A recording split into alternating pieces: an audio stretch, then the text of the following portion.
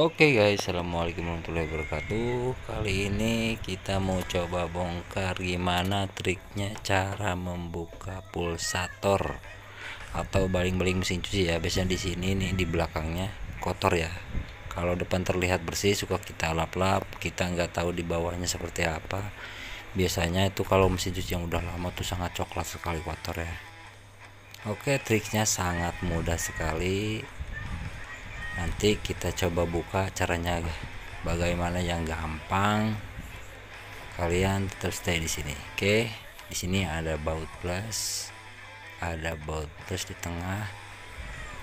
Nah kalian siapin obeng plus seperti ini ya. Obeng plus itu seperti ini. Kemudian dua buah sendok. Nah nanti fungsinya dua sendok ini bakalan kalian tahu. Makanya simak terus sampai selesai nah ini kita sambil tahan dengan tangan kiri balingnya kemudian kita buka bautnya. Karena kalau nggak ditahan suka ikut muter gitu ya. Nah ini kita ambil baut e, pengunci yang tengah ini. Nah ini satu doang. Nah ini kan kalau nggak pakai alat susah ya. Licin juga. Nggak ada pegangan sama sekali. Di sini juga mungkin kita gunakan sendok makan dua biji. Nah seperti ini. Caranya kita kaitkan di ujung dan ujung kanan kirinya. Nah seperti ini ya. Kita kita congkel gitu ya ke atas ya. Nah pelan-pelan biasanya dia akan nah tarik soalnya kalau nggak pakai sendok seperti ini dia susah. Nah di bawah ini nah ada ada dapat duit koin juga ya. Biasanya dia nyelip ke bagian-bagian samping kalau pada saat mencuci ya.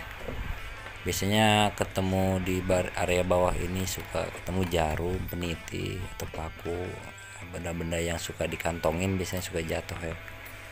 Nah, ini tips cara membukanya. Nah kemudian kita arahkan selektor di drain.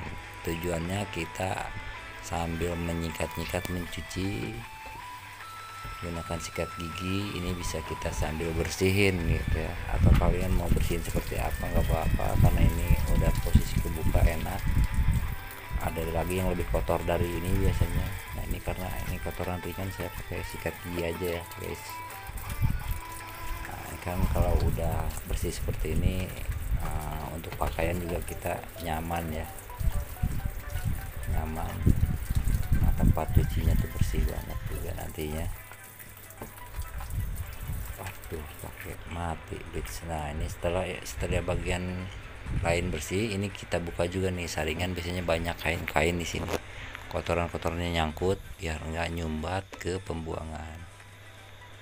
Nah ini kita buka dengan satu skrup aja kita buka. Terus kita buang-buangin sambil jalanin air ya.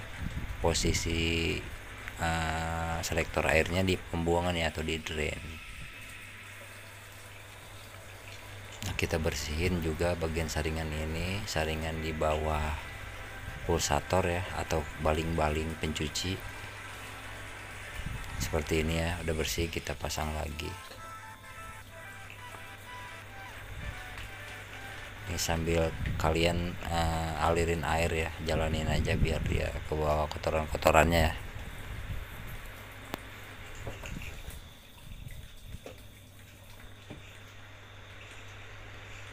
kita matiin airnya lalu kita pasang lagi ini. Ini juga jangan sampai kebalik ya. Nah yang benar seperti ini kalau kalian pasangnya seperti ini salah. Nah ini salah. Yang benar seperti ini ya. Kita pasang kembali skrupnya satu. Nah, kayak gini. Oke lanjut. Kita pasang pulsatornya kembali nah ini biasanya agak susah. Kalian harus benar-benar pasin ya di tengah antara lubang dan dan eh, as yang bawah ya. Tapi pasti pasti bisa. Kalian pasti bisa. Ini mudah banget cuman harus pas aja. Nah udah kepasang. Tinggal kita pasang kembali satu baut tadi. Nah ini.